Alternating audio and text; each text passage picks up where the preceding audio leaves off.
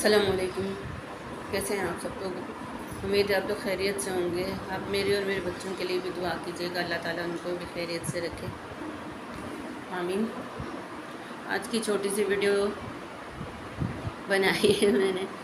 आप लोगों को पसंद आए या ना आए, मेरी बातें, मैं सिर्फ़ बातें अपनी शेयर करती हूँ। आज ये फिर से निकालनी पड़ गई मुझे वॉकर क्योंकि वो बैक बोन का मेरी मसला चल रहा है, जिसकी वजह से कभी कभार जो है मैं बिल्कुल मैं लेट जाती हूँ, चल नहीं पाती।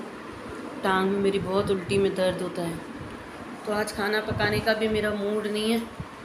फ़ूड पांडा करेंगे आज। आज मुझसे इनका पिंजरा भी साफ़ नहीं हो रहा। चिट्टी का भी कपड़ा चेंज करना है। ये कपड़ा इनके कुकू के मैं पिंजरे में इसलिए बिछाती हूँ क्योंकि इसको मैं खाना वगैरह देती हूँ और रात को इसको मैं बंद करती हूँ तो इसका पाँव भी फंस जाता था। तो ये चीखता नहीं है इसकी एक आदत है। पाँव वगैरह इसका फंसता है तो ये चीखता नहीं है। इस वजह से मैंने ये कपड़ा बिछाया हुआ है और इस पर खाना देती हूँ क्योंकि इसकी टिप्पणियाँ हैं, वो रखी हुई हैं, उसमें ये खाना नहीं खाता है उसको खाना शुरू कर देता है। तो मुझे डर है कि ये इसके क्रॉप क्रॉप में फंस नहीं जाए। पहले भी एक मेरा पैरेट जो मैंने एक हफ़्ते का लिया था, उसको मैंने पाला था, उसका नाम सलमान रखा था। एक हफ़्ते का लिया था, उसको सिरिंज से हम लोग फ़ीड करवाते थे। एक मेरा कैट था मेल कैट था, वो जो जो नाम था उसका। वो भी, उसकी भी गलत वैक्सीन हुई थी तो वो भी एक साल सही था। एक साल के बाद मेरा दिमाग ख़राब हुआ, मैंने उसकी वैक्सीन कराई थी तो वो तो मैंने आपको पहले भी बताया था। तो ये कुकू के पिंजरे में कपड़ा इसलिए बिछाती हूँ ताकि इसकी टांगें जो हैं, इसके पैर नहीं फंसें। और जो खाना रखा हुआ होता है, इसको मैं खाना नीचे रख के देती हूँ। मैं प्लेट में भी देती हूँ, उसको तो ये फेंक देता है। काफ़ी दफ़ा मैंने इसको प्लेट में चावल भी दिए हैं। ये चावल की प्लेट उठा के ऐसे फेंकता है, इतनी दूर दूर तक चावल बिखर जाते हैं। फिर वो अनाज है, उसको हम झाड़ू से उठा भी नहीं सकते हैं। ज़ाहिर सी बातें रिस्क की ये आप इज़्ज़त करोगे तो रिस्क आपको मिलेगा। बाज़ दफ़ा मुझे खाना जो है, वो फेंकना भी पड़ता है, क्योंकि लाइटें जा रही हैं हमारे यहाँ। सुबह से जाती हैं छः बजे से रात को दो बजे तक लाइट हमारा सुकून बर्बाद करती है। अब इस दौरान कितनी बंदे की नींद होगी और कितना वो काम करेगा? गैस भी नहीं होती जो जनरेटर चला के बंदा काम करे।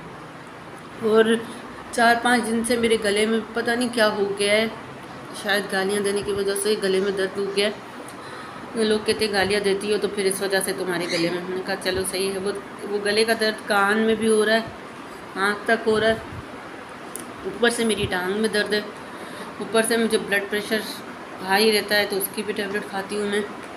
तो आज मेरा खाना बनाने का बिल्कुल भी हिम्मत भी नहीं है और मेरा मूड भी नहीं है। आज मैं बाहर से कुछ बिरयानी वगैरह मंगवा के हम लोग खाएँगे। बाकी अल्लाह मालिक देखा जाएगा जो होता है।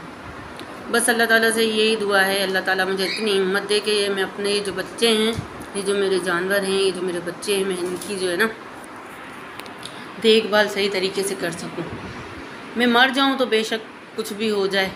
मैं मर जाऊँ पहले तो फिर तो मुझे नहीं होगा ना, क्या होना है, क्या नहीं होना अब ज़िंदा ज़िंदा अगर मैं इनकी खदमत ना कर पाऊँ उनकी देखभाल नहीं कर पाऊँ, और एक बात और मैं इसको गाली प्यार से देती हूँ गाली आप समझ लें कि मेरे ददयाल में गाली छट्टी का जब वो बच्चा पैदा होता है, उसको शहद चटवाते हैं तो हमारे यहाँ हमको गाली चटवा दी गई। तो इसीलिए वो रच बस गई है ना। तो कभी कभार अगर मैं गाली दे देती हूँ तो उसके लिए कुक्कू भी गालियाँ देता है। बहुत गालियाँ देता है, ये बहुत बातें करता है। मैंने इसकी कल थोड़ी सी वीडियो उसकी मैंने डाली थी शॉर्ट्स पर, वो किसी ने देखी ही नहीं। यही बातें कर रहा था, ये बहुत बातें करता है। किसी दिन ये बैठा होगा ना तो मुझे, मैं कैमरा सामने लेकर जाती हूँ तो ये बोलता नहीं है। इसीलिए मैं कमरे के बाहर खड़ी रहती हूँ और जब ये बातें करता है तो मैं इसकी वीडियो बना लेती हूँ। वीडियो बनाने का मकसद ये होता है कि सब लोग मुझे कहते हैं कि ये बोलता नहीं है, गूँगा है आपका बच्चा। मेरा बच्चा बिल्कुल भी गूँगा नहीं है। मेरा बच्चा इतनी बातें करता है क्या क्या कहता है, मैं आपको बता नहीं सकती। मैं इसकी पूरी वीडियो रिकॉर्ड करूँगी, लेकिन इधर आ। इधर आ, कहाँ जा रहा है? इधर आ।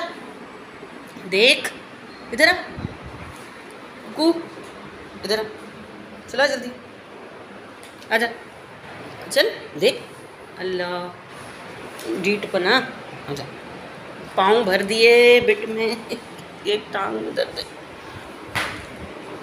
बस टांग की वजह से मैं ज़्यादा नहीं चलती है अभी। ये बहुत ज़्यादा हिम्मत ख़त्म होती है तो होकर के सहारे उठती। हूँ उसे मेरी कोशिश यही होती है कि मैं इस होकर को जो है गरक कर दूँ। लेकिन ये बहुत काम आती है मेरी। चलें, छोटी सी वीडियो के साथ मैं आपके हाजिर होती, ज़्यादा टाइम नहीं लेती मैं आप लोगों का। अपना बहुत ख्याल रखिएगा दुआ में याद रखिएगा। छोटी सी वीडियो होती है, अच्छी लगी तो लाइक कीजिए, नहीं लगी तो डिसलाइक मत कीजिएगा छोड़ दीजिएगा। चलें, दुआओं में याद रखिएगा। अल्लाह हाफिज़।